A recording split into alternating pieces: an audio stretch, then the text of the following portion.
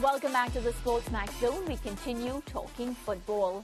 The English Premier League ended its sixth round on the weekend, and we have the results. Okay, so Newcastle whipping Sheffield United 8 0, a 2 all draw between Arsenal and Tottenham. Brighton 3 1 over Bournemouth. Aston Villa a win against Chelsea. A win for Liverpool over West Ham. Manchester United one goal to secure those points against Burnley. A 3 1 win for Everton over Brentford. No goals in the draw between Crystal Palace and Fulham. 1 all draw between Luton and Wolves. What about Manchester City getting that win 2 0 against Nottingham? Let's take a look at how the table stands now. Manchester City at the top of the table, uh, Liverpool in second position on 16. Okay, so we're going to have to come back to that table because viewers, I know you've been following the sport, so we'll have to get back to that table. But team this weekend had so many mouth-watering matches and the feature match on Sunday was the North London derby between Arsenal and Tottenham Hotspur at the Emirates Stadium. What a match it was and it certainly lived up to its billing. But once again, the VAR and the rules surrounding handball have been dominating the headlines. So Lance, what a weekend, but as we said, VAR, we don't get to talk about good sport without VAR deciding to make the headlines. well, even Simon Evans? Yes. No, it wasn't Simon. It was Pete Russell. No, it was this Johnny Gray on Friday. Oh. He, he, he, he, he referenced the North London Derby because although he was on the show to talk about cricket, he did mention the North London Derby um, facetiously as if he wanted to discuss that because it was such a big weekend for both teams. But I guess um, both teams gave as good as they got. And um, I think a fair result in the end. Son getting um, on the score sheet. And um, I, I, think it was a, a, an exciting match and the kind of match that, you know, we've grown accustomed to seeing when these two North London teams battle. Yeah, really, really positive stuff from Tottenham Hotspur for the start of this season. Arsenal fans will be extremely angry, and they were because I reached out to one on the weekend, and it's as if I couldn't talk to them, Ricardo. They were so upset over this draw. Yeah, listen, pretty good match. Um, and it was always going to be a good match because Tottenham have had a very good start to the season. We know the quality that Arsenal possess from last season and they have brought into this campaign as well. But the, the issue of VAR and this handball rule, or what the rules say or how they are interpreted, is a serious issue. Um, and we look at what happened yesterday with this Arsenal um, Tottenham game and Romero. Clearly, that was a handed ball. For me, couldn't understand first off the bat why it wasn't called on the field of play. Went to VAR, of course, decision was penalty. As far as I'm concerned, the right decision. But the real problem now comes in how this rule has been interpreted, applied inconsistently. Yes.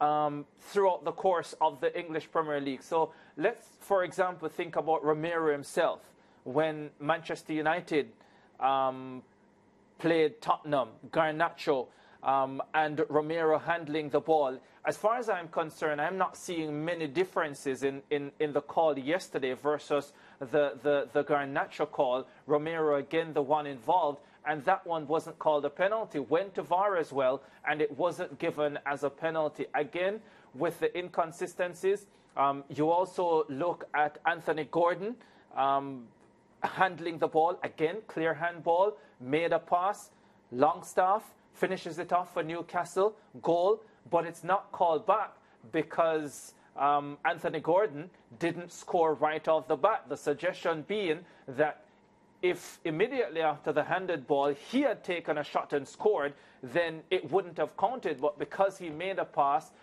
then it's counted. And I think people are getting confused Yes. as to how this rule should be applied. Even the Tottenham coach at the end of the contest saying, I really don't know what the rule is. I, I, I don't know. Don't even bother to ask me.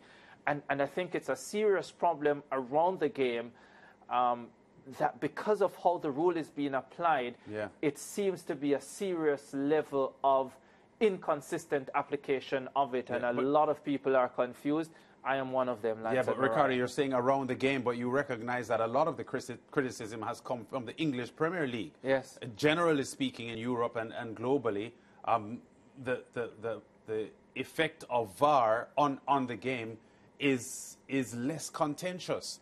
There is something about the English application of uh, the VAR, of VAR um, in the English Premier League that just looks inconsistent, and that is what causes the constant um, complaints and, and quarrels over how, how, how, it is, how it is being used. I think the issue is when it when it's applied in one particular way for one player or a certain match, and then it, it's applied differently. It's as if there isn't. So in law, when you think about law, they they look at all the cases and different rulings in order to make a a ruling on a particular, a current case. But for us, where VAR is concerned, we can't look at an older um, incident because, of course, it doesn't apply. It's as if it's a brand new incident, there's a brand new ruling, and I think that's where the issue comes up. Yeah, I think it's also interpretation, right? So Lance Whitaker is referee A, and he interprets it in one way. Ricardo Chambers is referee B, and he interprets it in another way. And so, a seemingly similar situation, um, you get different rulings for seemingly similar situations. And I think that is happening quite a lot throughout the, the course of the EPL. And I think we'll see this again. Before the season is out, we are going to have this discussion a few more times um, relating to how this handball rule is being applied um, throughout the course of the league and the apparent inconsistent nature in which it is being applied. All right, well, team, we're still with the EPL and Chelsea. They suffered their third defeat in six matches, going down 1 0 to Aston Villa at home. Their manager, Mauricio Pochettino, says they need to grow up. I think we we need to grow up um, like a team, not only in an individual way. I think player like Nico that is so young and is is, is feeling the Premier League and is uh, is learning. I think need time in this type of game. Of course, that we are competing and we want to win, and football is want to win. But also, player when they are young need need to learn uh, with experience and made made a mistake. Um, yes, that is why we feel disappointed because I think we are paying too many you know situations like this. I am agree with you that uh, too many things like this uh, are this this thing another small detail another small detail and in the end we are losing the game and and now we are in a situation you know that we need to change uh, as soon as possible. Lance, Chelsea, they haven't looked good for quite some time. Now, the manager team saying they need to grow up. Well, I, I don't know how the Chelsea fans are digesting this. They're, they're winless from all their games in, in September so far, and they've spent a lot of money. That's putting it mildly. So um, Pochettino is on, is, on, is, on, is under stri- stress because it's hard for him to explain the, the dismal form of this team when so much has gone into building their roster. What more can he do? I want to make a suggestion, right? Um, and this is more for the Sportsmax zone than it is for Chelsea um, on Friday. And by the way, the producer of the weekly Sportsmax class moments um, is a Chelsea fan. And I am suggesting strongly that the best Chelsea goal for September be in the Sportsmax class moments on Friday. Where is he finding that? The, the training ground. Danielle, don't worry about Ricardo. Focus on other teams and you'll be fine.